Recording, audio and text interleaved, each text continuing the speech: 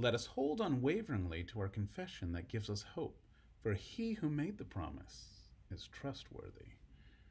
Today's reading from the letter of the Hebrews continues to express the difference that Christ makes, the greatness of this perfect high priest, the unprecedented, yet prefigured, access that Christ gives us to the divine.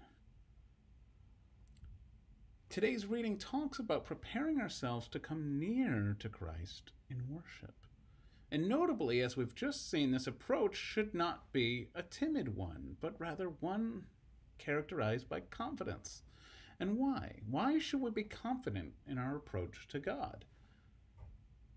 We often like to talk about self confidence, and that's a good thing.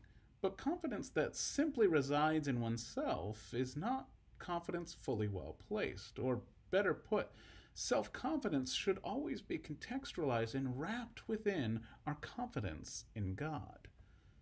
The confidence our reading discusses today helps us to remember this because it describes the confidence we need not as confidence in ourselves or our abilities or our worthiness to approach the divine.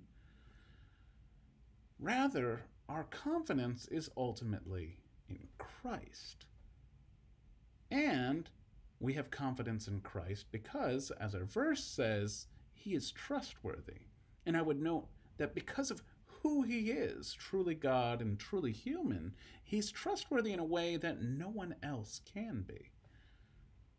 We often, and too often, forget the trustworthiness of God. We think that God is either angry with our failings, has unrealistic expectations of, of us, or just plain doesn't care. What Christ shows us is that all of those notions are false.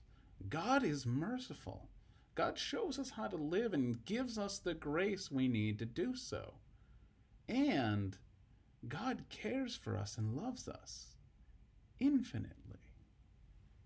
So let us today proceed as God calls us with our trust placed firmly in Christ.